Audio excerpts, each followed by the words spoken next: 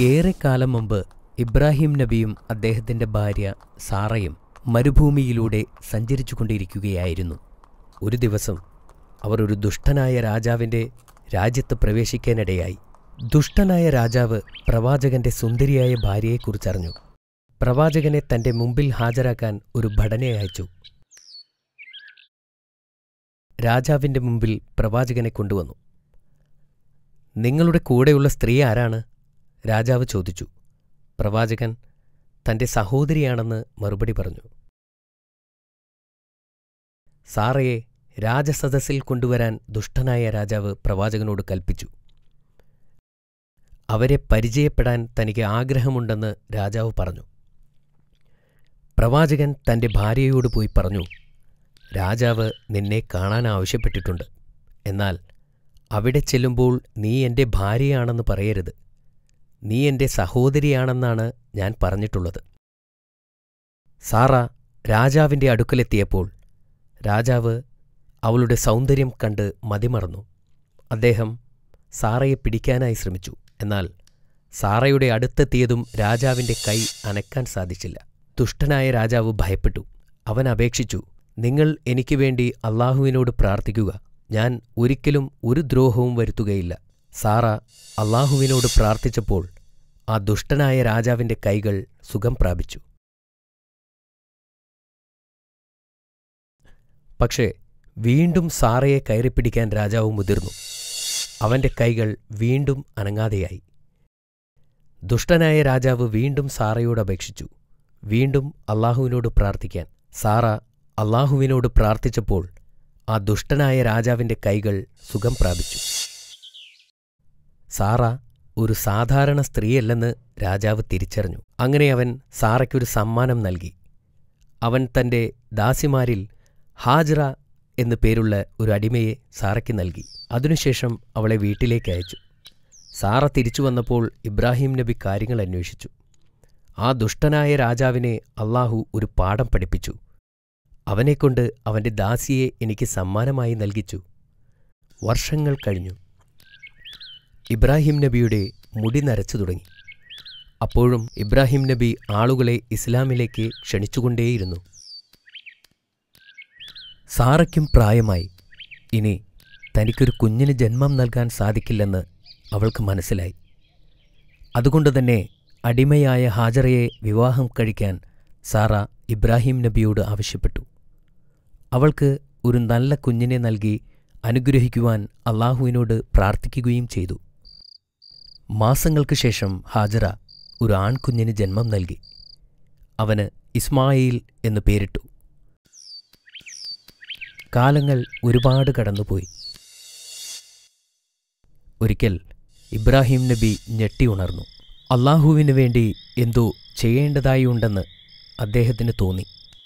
അദ്ദേഹം ഹാജറയുടെ അടുത്തു ചെന്ന് പറഞ്ഞു ഒരു യാത്ര പോകേണ്ടതുണ്ട്. ഇസ്മായിലിനെയും കൂട്ടി തയ്യാറായി നിൽക്കൂ. ഇബ്രാഹിം നബിയും ഭാര്യയും കുട്ടിയായ ഇസ്മായിലും ഒരു ദൂരയാത്രയ്ക്ക് പുറപ്പെട്ടു. ഒരുപാട് ദിവസം അവർ സഞ്ചരിച്ചു. ഒടുവിൽ ഒരു വരണ്ട മരുഭൂമിയായ മർവ പർവതത്തിന്റെ താഴ്വാരത്തെത്തി. അവിടെ പഴങ്ങളോ മരങ്ങളോ ഭക്ഷണമോ വെള്ളമോ ഇല്ലായിരുന്നു. ജീവന്റെ ഒരു അടയാളം പോലുമില്ലാത്ത ഒരു താഴ്വരയായിരുന്നു അത്. അവിടെ വച്ച് ഇബ്രാഹിം നബി തന്റെ ഭാര്യയെയും കുട്ടിയെയും ഉപേക്ഷിച്ച് തിരിച്ചു നടക്കാൻ തുടങ്ങി. അവർക്ക് രണ്ട് ദിവസത്തേക്കുള്ള ഭക്ഷണം മാത്രമേ കയ്യിലുണ്ടായിരുന്നുള്ളൂ. അദ്ദേഹത്തിന്റെ ഭാര്യ അദ്ദേഹത്തോട് പൊട്ടിക്കരഞ്ഞുകൊണ്ട് ചോദിച്ചു ഞങ്ങളെ ഈ മരുഭൂമിയിൽ ഒറ്റക്കാക്കി എങ്ങോട്ടാണ് പോകുന്നത്? അദ്ദേഹം ഒന്നും മറുപടി പറഞ്ഞില്ല. അവർ വീണ്ടും കരഞ്ഞുകൊണ്ട് അപേക്ഷിച്ചു. ഒടുവിൽ അവർക്ക് മനസ്സിലായി ഇതൊന്നും സ്വന്തം ഇഷ്ടപ്രകാരം അല്ല അദ്ദേഹം ചെയ്യുന്നത്. അവർ വീണ്ടും വിളിച്ചു ചോദിച്ചു അള്ളാഹു ചെയ്യാൻ പറഞ്ഞിട്ടാണോ അദ്ദേഹം തല കുലുക്കുക മാത്രം ചെയ്തു? എന്നിട്ട് നടന്നകന്നു. അദ്ദേഹത്തിന്റെ ഭാര്യ പറഞ്ഞു ഞങ്ങൾക്ക് ഭയമില്ല. അള്ളാഹു ഞങ്ങളെ സംരക്ഷിക്കും.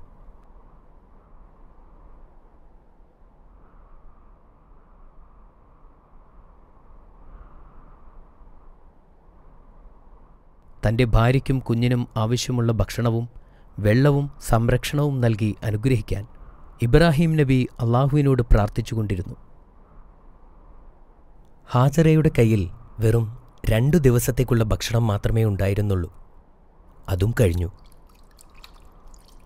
ഹാജറ ബാക്കിയുണ്ടായിരുന്ന വെള്ളം കുടിച്ചതിനാൽ അവരുടെ കുട്ടിക്ക് പാൽ കൊടുക്കാൻ കഴിഞ്ഞു. ഏറെ താമസിയാതെ വെള്ളവും തീർന്നു. അവർക്ക് ദാഹം അനുഭവപ്പെടാൻ തുടങ്ങി.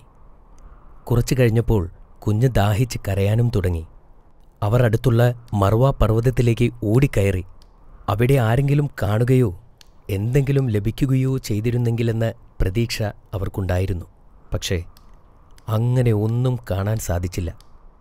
തുടർന്ന് അടുത്തുള്ള പർവതമായ സഫയിലേക്ക് കൂടി അവിടെയും ഇതുതന്നെയായിരുന്നു അവസ്ഥ. അങ്ങനെ അവർ ഏഴ് തവണ സഫയ്ക്കും മറവയ്ക്കും ഇടയിലൂടെ ഓടി. ഒടുവിൽ ഹാജറ അവശയായി. അവർ കുട്ടിയുടെ സമീപം വന്നിരുന്നു. അപ്പോൾ അവർ ഒരു ശബ്ദം കേട്ടു. അവർ അത് എന്താണെന്നറിയാൻ വേണ്ടി കാതോർത്തു നിന്നു. വീണ്ടും ആ ശബ്ദം കേട്ടപ്പോൾ അവർ ചോദിച്ചു നിങ്ങൾ ആരാണെങ്കിലും അള്ളാഹു നിങ്ങളെ എനിക്ക് കേൾപ്പിച്ചു തന്നു. എന്നെ സഹായിക്കാൻ കഴിയുമോ?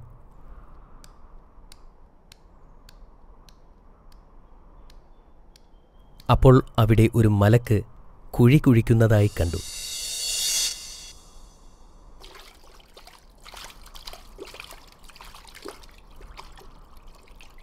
വെള്ളം കണ്ടപ്പോൾ ഹാജറ ഓടിച്ചെന്ന് അതിനെ തടം കെട്ടാൻ തുടങ്ങി. അവർ അതിൽ നിന്നും വെള്ളം കുടിക്കുകയും പാത്രത്തിൽ ശേഖരിക്കുകയും തന്റെ കുഞ്ഞിന്റെ അടുത്തേക്ക് ഓടിച്ചെല്ലുകയും ചെയ്തു. ആ ഉറവ പൊട്ടിയ സ്ഥലം സംസം എന്നറിയപ്പെട്ടു. ഏതാനും ദിവസങ്ങൾക്ക് ശേഷം ചിലർ മക്കയിലൂടെ സഞ്ചരിക്കുകയായിരുന്നു. അപ്പോൾ പക്ഷികൾ മർവ പർവതത്തിന് ചുറ്റും വട്ടമിട്ട് പറക്കുന്നതായി ശ്രദ്ധയിൽപ്പെട്ടു. അവിടെ വെള്ളം ഉണ്ടാകാനുള്ള സാധ്യതയുണ്ടെന്ന് അവർ മനസ്സിലാക്കി. അവർ മറവയിലേക്ക് നീങ്ങി.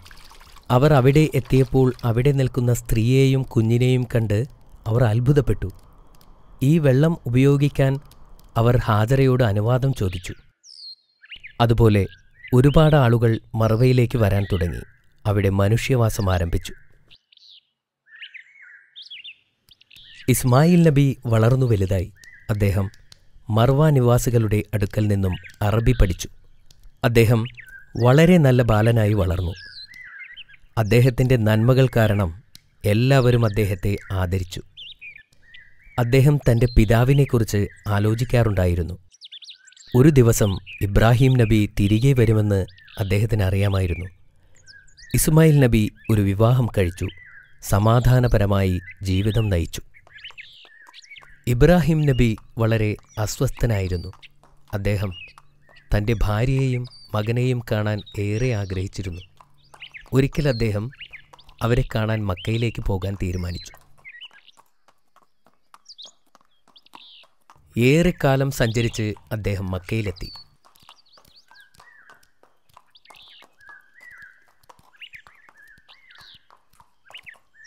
ഇബ്രാഹിം നബി എത്തുന്നതിന് മുമ്പ് തന്നെ ഹാജറ ബീവി വഫാത്തായിരുന്നു. അത് മക്ക നിവാസികളിൽ നിന്നും അദ്ദേഹം മനസ്സിലാക്കി. എന്നാൽ ഇസ്മായിൽ നബി ഇപ്പോഴും ജീവനോടെയുണ്ട് എന്ന് അദ്ദേഹം അറിഞ്ഞു. ഇത് കേട്ടതിൽ അദ്ദേഹം വളരെയധികം സന്തോഷിച്ചു. അൽഹംദുലില്ലാ എന്ന് പറയുകയും ചെയ്തു.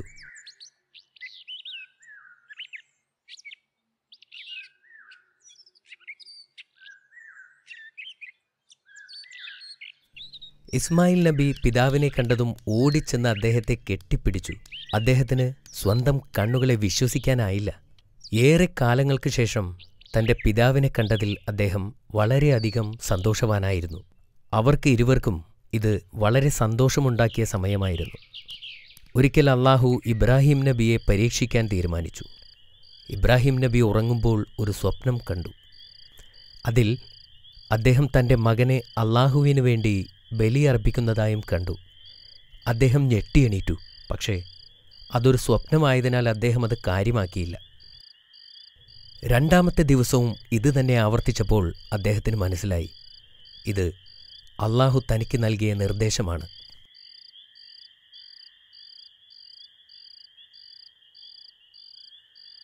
ഇബ്രാഹിം നബി ഇസ്മായിൽ നബിയെ വിളിച്ചു. താൻ കണ്ട സ്വപ്നത്തെക്കുറിച്ച് പറഞ്ഞു. അപ്പോൾ ഇസ്മായിൽ നബി പറഞ്ഞു അള്ളാഹു അങ്ങയോട് എന്തു പറഞ്ഞുവോ അത് ചെയ്യുക. അടുത്ത ദിവസം അവർ ഒരു കത്തിയും കയറുമായി അറഫ പർവതത്തിന് മുകളിലേക്ക് പോയി.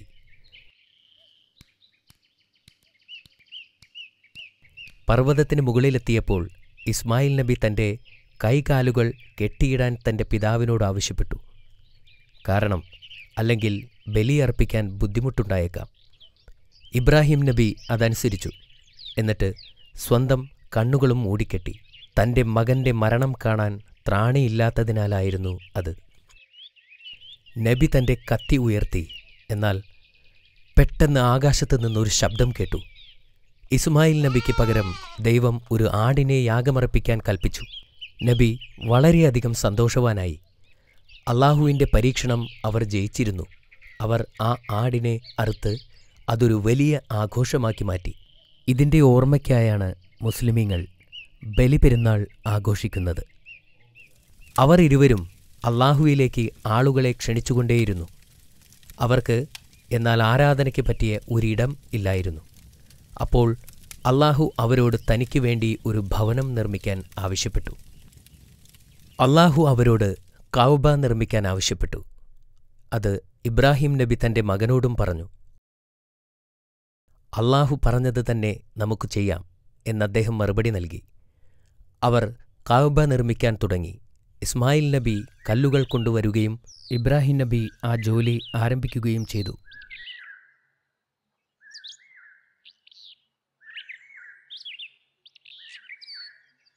ചുമരിന് ഉയരം കൂടിയപ്പോൾ ഇസ്മായിൽ നബി വലിയ കല്ലുകൾ ഇബ്രാഹിം നബിക്ക് വേണ്ടി കൊണ്ടുവന്ന് അദ്ദേഹം അതിന് മുകളിൽ കയറി നിന്ന് തന്റെ ജോലി പൂർത്തിയാക്കുകയും ചെയ്തു.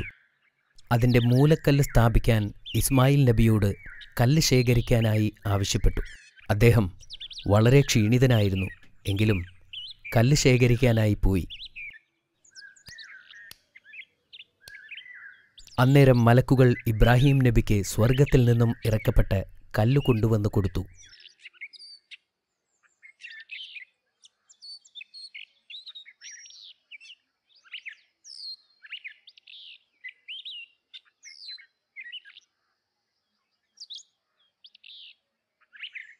ആദ്യകാലത്ത് അതിന്റെ നിറം വെളുപ്പായിരുന്നു.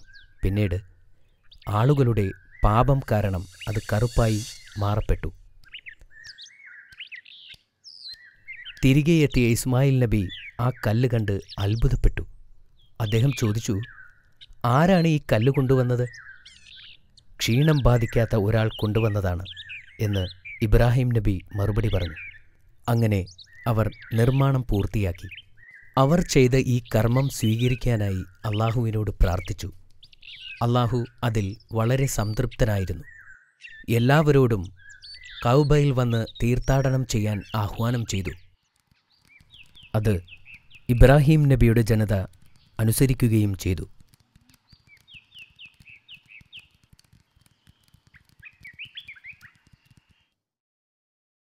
ഇബ്രാഹിം നബിക്കും സാറയ്ക്കും പ്രായമായി ഒരിക്കൽ അവരുടെ വീട്ടിലിരിക്കുമ്പോൾ മൂന്ന് അതിഥികൾ വരുന്നത് കണ്ടു.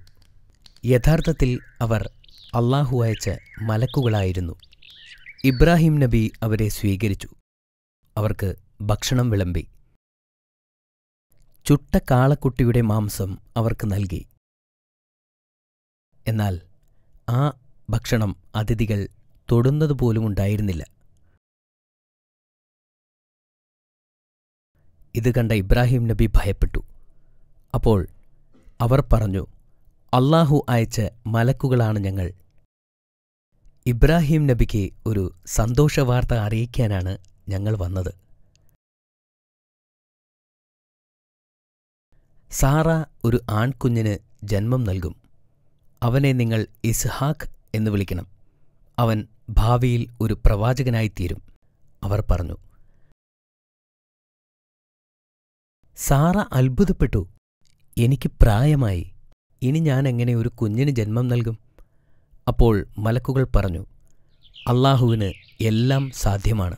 കുറച്ചു മാസങ്ങൾക്ക് ശേഷം സാറ ഗർഭിണിയാവുകയും ഒരു കുഞ്ഞിന് ജന്മം നൽകുകയും ചെയ്തു. കുഞ്ഞിന് ഇസ്ഹാഖ് എന്ന് പേരുമിട്ടു.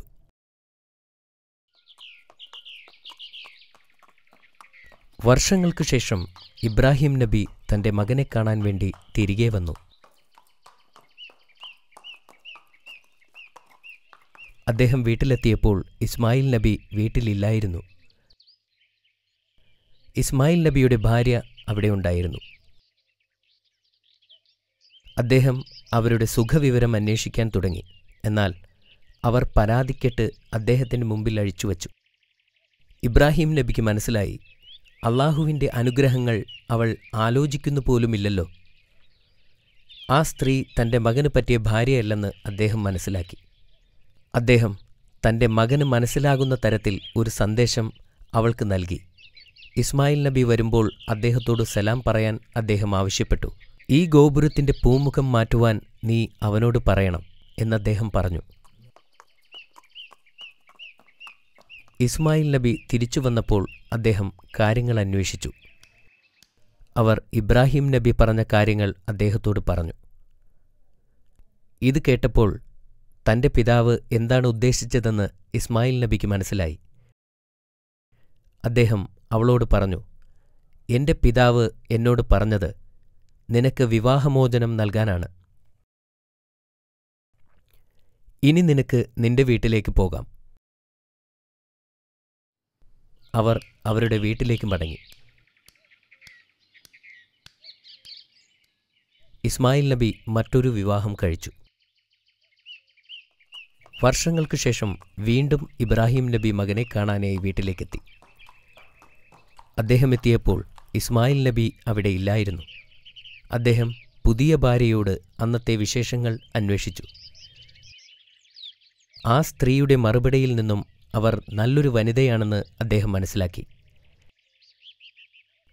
ആ സ്ത്രീ എപ്പോഴും അള്ളാഹുവിനെ സ്തുതിക്കുമായിരുന്നു. ഇത് കണ്ട് ഇബ്രാഹിം നബി സന്തുഷ്ടനായി. അദ്ദേഹം ആ സ്ത്രീയോട് പറഞ്ഞു ഭർത്താവ് വരുമ്പോൾ വീടിന്റെ ഉമ്മറം ഉറപ്പിച്ചു നിർത്താൻ പറയണം. ഈ രഹസ്യ സന്ദേശം നൽകി അദ്ദേഹം തിരിച്ചുപോയി. ഇസ്മായിൽ നബി വീട്ടിലെത്തിയപ്പോൾ ഭാര്യയോട് കാര്യങ്ങൾ അന്വേഷിച്ചു. അവർ കാര്യങ്ങൾ പറയുകയും ചെയ്തു. ഇത് കേട്ട് ഇസ്മായിൽ നബി പറഞ്ഞു അദ്ദേഹം പറഞ്ഞ വീടിന്റെ ഉമ്മറം നീയാണ്. നിന്നെ എന്നേക്കും കൂടെ നിർത്താനാണ് അദ്ദേഹം എന്നോട് പറഞ്ഞത്. ഇസ്മായിൽ നബി നൂറ്റി മുപ്പത്തിയേഴ് വർഷക്കാലം ജീവിച്ചിരുന്നു. നൂറ്റി എഴുപത്തിയഞ്ച് വർഷക്കാലം ഇബ്രാഹിം നബി ജീവിച്ചു. അദ്ദേഹത്തിന്റെ ജീവിതകാലം മുഴുവനും പരീക്ഷണങ്ങളെ നേരിട്ടിരുന്നു.